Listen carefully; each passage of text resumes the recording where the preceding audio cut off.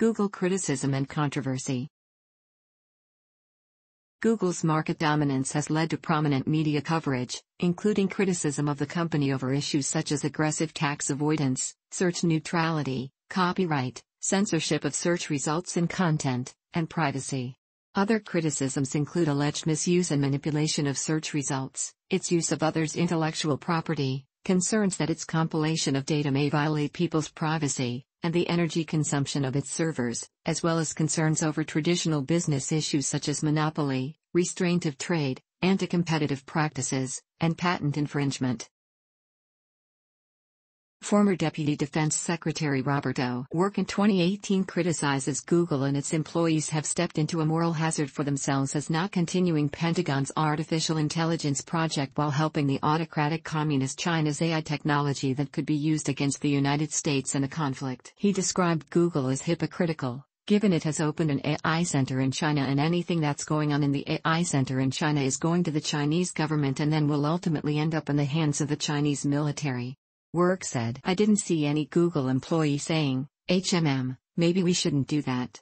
Google's dealings with China is decrying as unpatriotic. Google adhered to the internet censorship policies of China, enforced by means of filters colloquially known as the Great Firewall of China. The Intercept reported in August 2018 that Google is developing for the People's Republic of China a censored version of its search engine, known as Dragonfly, that will blacklist websites and search terms about human rights, democracy, religion, and peaceful protest. Chairman of the Joint Chiefs of Staff General Joseph Dunford also criticizes Google as it's inexplicable that it continue investing in autocratic communist China, who uses censorship technology to restrain freedoms and crack down people there and has long history of intellectual property and patent theft which hurts U.S. companies, while simultaneously not renewing further research and development collaborations with the Pentagon. He said I'm not sure the people at Google will enjoy a world order that is informed by the norms and standards of Russia or China.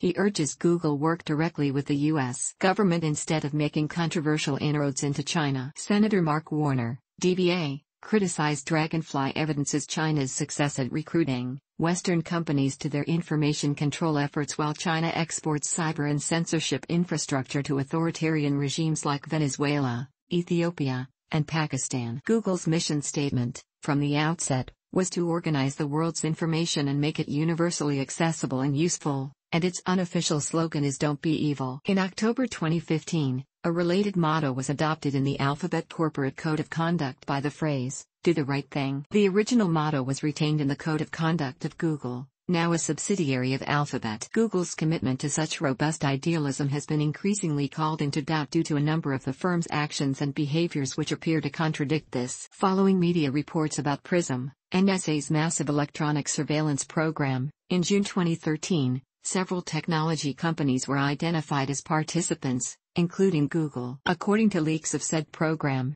Google joined the PRISM program in 2009. On August 8, 2017, Google fired employee James Damore after he distributed a memo throughout the company which argued that Google's ideological echo chamber and bias clouded their thinking about diversity and inclusion, and that it is also biological factors, not discrimination alone, that cause the average woman to be less interested than men in technical positions. Google CEO Sundar Pichai accused Damore in violating company policy by advancing harmful gender stereotypes in our workplace, and he was fired on the same day. New York Times columnist David Brooks argued Pichai had mishandled the case, and called for his resignation. Reportedly, Google's influenced New America think tank to expel their open markets research group, after the group has criticized Google monopolistic power and supported the EU $2.7 billion fine of Google. Google has worked with the United States Department of Defense on drone software through the 2017 Project Maven that could be used to improve the accuracy of drone strikes. Thousands of Google employees, including senior engineers, have signed a letter urging Google CEO Sundar Pichai to end a controversial contract with the Pentagon. In response to the backlash,